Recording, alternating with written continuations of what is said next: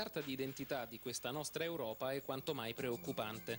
200 anni dopo la rivoluzione francese, l'Europa è più che mai il continente delle ingiustizie e delle disuguaglianze sociali ed è persino il teatro di una terribile guerra, qual è quella che si combatte nella ex Jugoslavia. Eppure l'Europa è una delle parti più ricche del mondo ed appartiene a quel 20% della popolazione mondiale che consuma l'80% delle risorse del nostro pianeta. Vi sono nate la cultura e la scienza, ma anche le aberrazioni del nazismo e del fascismo ed è il continente che ha visto esplodere due tremende guerre mondiali che sono state combattute sul suo territorio nei primi 50 anni di questo secolo. Poco più di un anno fa l'Europa ha spalancato le porte alle merci, al denaro, ai capitali, che da quel giorno possono attraversare le frontiere senza il fastidio dei controlli doganali. L'intesa tra i 12 paesi che hanno dato vita prima alla CE, poi con il Trattato di Maastricht all'Unione Europea, Italia, Germania, Francia, Regno Unito, Belgio, Olanda, Danimarca, Irlanda, Lussemburgo, Grecia, Spagna, Portogallo, non si è trasformata nella fatidica promessa di un'Europa unita. Non si paga la dogana, ma le frontiere delle disuguaglianze sono diventate più alte è stato costituito un mercato più grande nel quale appunto le banche, le maggiori imprese e purtroppo anche la criminalità organizzata possono fare gli affari più in grande. Ben diversa la sorte dei 338 milioni di cittadini europei che vivono nei 12 Stati membri dell'Unione, degli oltre 17 milioni di immigrati in cerca di lavoro e dei profughi in cerca di asilo. Per questi ultimi l'Europa ha chiuso le frontiere e attraverso un vergognoso trattato stipulato a Schengen ha deciso l'assimilazione degli immigrati ai trafficanti di armi e di droga, come se l'immigrazione, che è uno dei grandi fenomeni sociali del nostro tempo, fosse un fenomeno criminale e di ordine pubblico. L'Europa unita, che è stata prima un grande sogno, poi una illusione, oggi rischia di tramutarsi in una mistificazione a seguito dei trattati di Maastricht, che furono voluti dai governi ma non dai popoli. Nel nostro Parlamento Rifondazione Comunista votò contro la ratifica di quei trattati, prevedendo quello che oggi è sotto gli occhi di tutti. Il trattato di Maastricht, contrariamente a ciò che altri, anche nella sinistra, hanno sostenuto, non ha favorito l'unità europea, al contrario ha diviso l'Europa tra le aree forti e le aree deboli, ha diviso gli europei ricchi dagli europei poveri. Ha separato l'Europa dal sud del mondo, avviando una pericolosa politica di apartheid mondiale nella quale il ruolo dell'Europa è quello di una forza subalterna alle grandi potenze economiche degli Stati Uniti e del Giappone.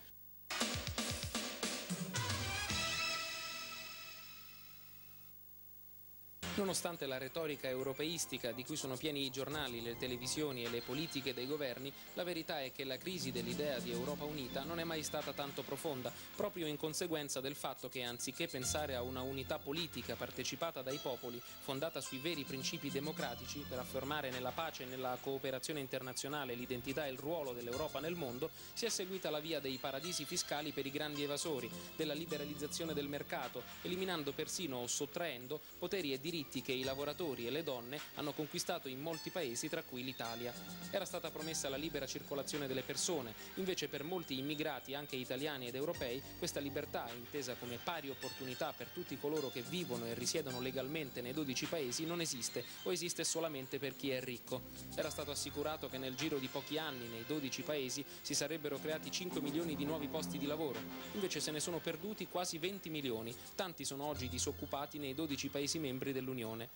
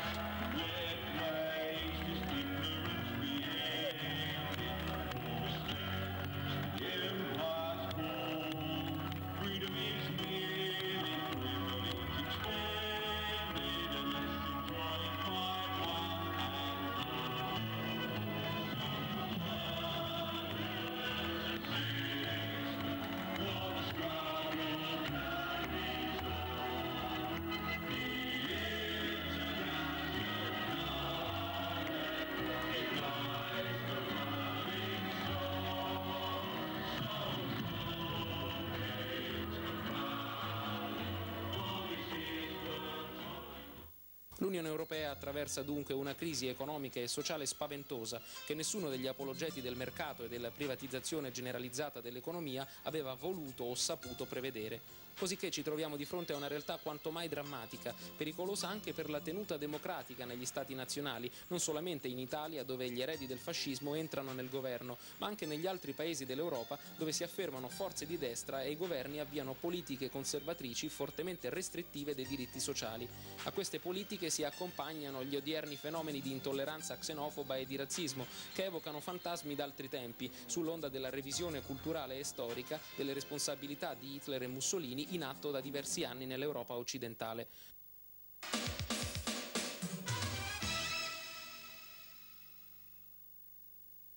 L'obiettivo cui si tende è la distruzione dello Stato sociale, che era stato per molti decenni il vanto della diversità dell'Europa rispetto al resto del mondo. Oggi le forze conservatrici e reazionarie indicano quelle conquiste sociali come ostacoli da abbattere in nome dell'efficienza delle imprese capitalistiche e della mondializzazione dell'economia. L'Europa di Maastricht è un'Europa monca, non è un'Europa unita. Gli manca la parte più importante, quella essenziale per l'avvenire delle nuove generazioni. Manca la democrazia e manca il lavoro. C'è qualcuno che pensa che sarà possibile continuare con le politiche cosiddette liberiste, che la crisi si potrà risolvere riducendo le spese per l'assistenza sociale, la sanità, le pensioni o continuando a colpevolizzare i salari e il costo del lavoro, cioè a creare ulteriori ingiustizie e squilibri sociali?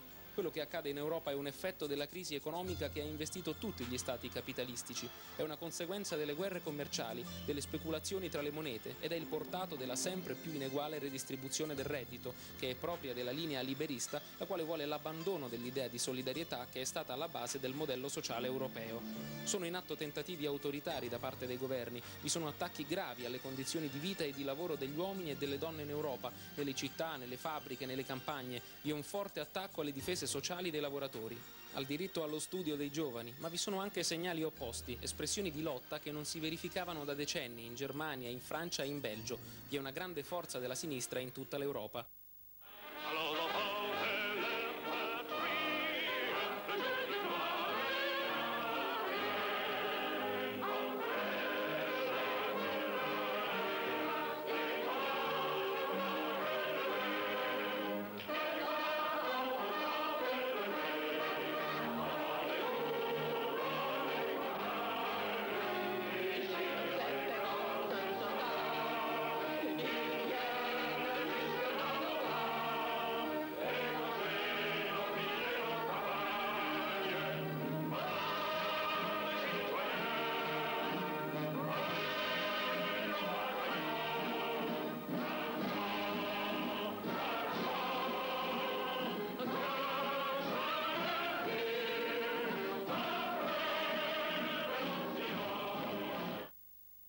Questa nuova Europa che lotta e che porta in primo piano i problemi sociali e i contenuti veri dell'integrazione europea che fa riferimento Rifondazione Comunista, quando chiede un voto che serva ad aprire da sinistra una strada nuova al processo di unificazione europea.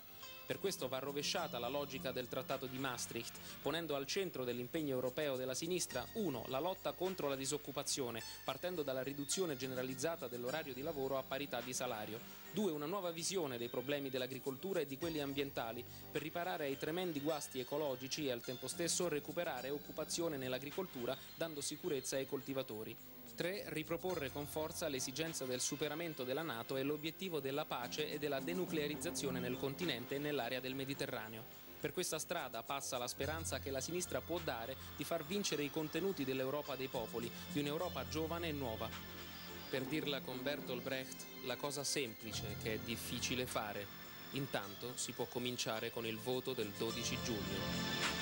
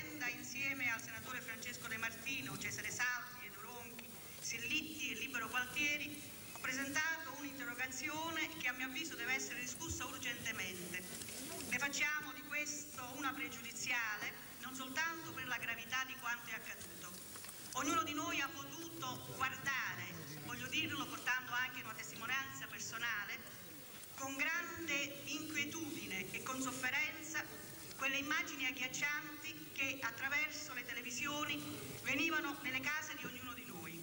Immagini di ragazzi, di giovani che non soltanto inneggiavano al nazismo e al fascismo, ma che in quella città, nella città di Vicenza, dove da mesi è in corso un processo per ricostituzione del partito fascista, consumavano una violenza, una violenza di estrema gravità. Immagini su cui io credo non abbiamo soltanto il dovere di riflettere, ma su cui abbiamo la necessità di dire qui in quest'Aula del Parlamento immediatamente una parola di chiarezza, vorrei dire un messaggio politico-culturale da mandare al Paese.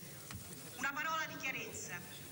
Quella, quella manifestazione era stata formalmente autorizzata e chiarezza vuole che il questore che ha autorizzato quella manifestazione e il prefetto che ha consentito quella manifestazione vengono immediatamente rimossi, perché la nostra Costituzione, la Costituzione repubblicana e antifascista che è in vigore, non può essere in questo modo calpestata e vilipesa.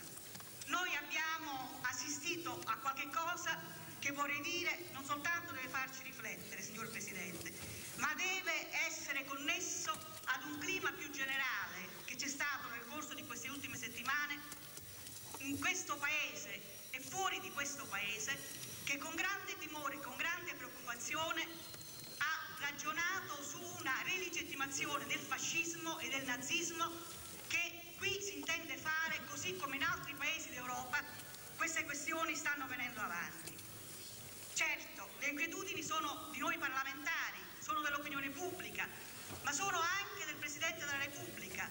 Io non voglio pronunciarmi sul carteggio che c'è stato, cosa ha chiesto il Presidente della Repubblica e sulla risposta che è stata data. Lo farò nel corso del dibattito parlamentare, ma certamente quello che è accaduto segna una situazione ai limiti della costituzionalità.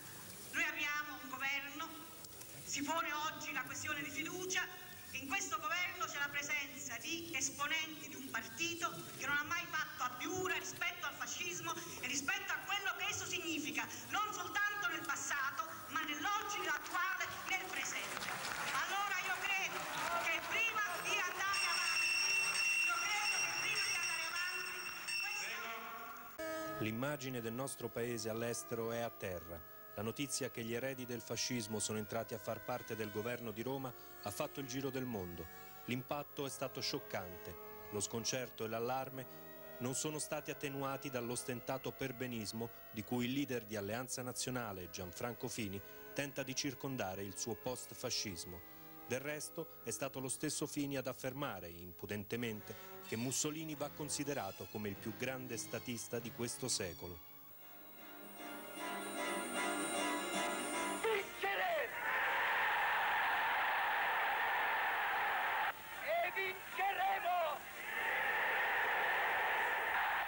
Eccolo il grande statista nel momento in cui corona la sua ventennale opera, gettando l'Italia in una guerra disastrosa e criminale al fianco della Germania nazista.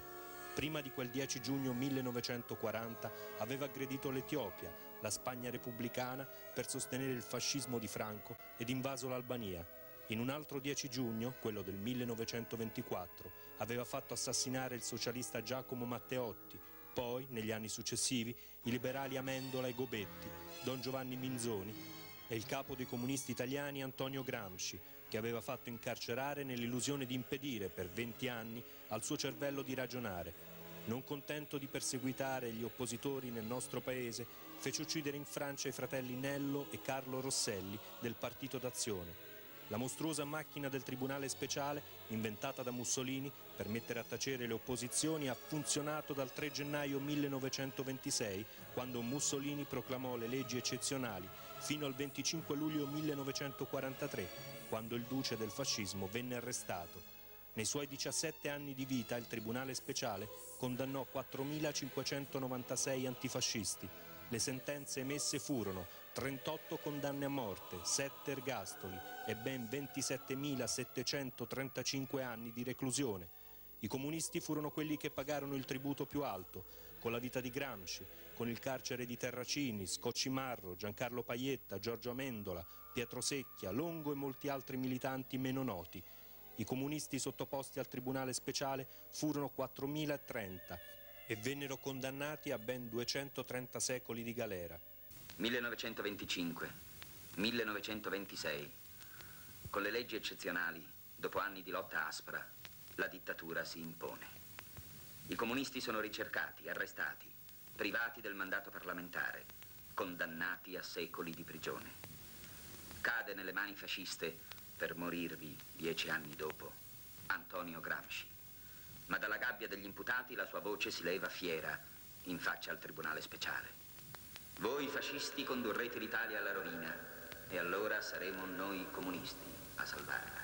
Vincere! E vinceremo! Come è andata a finire tutti lo sanno.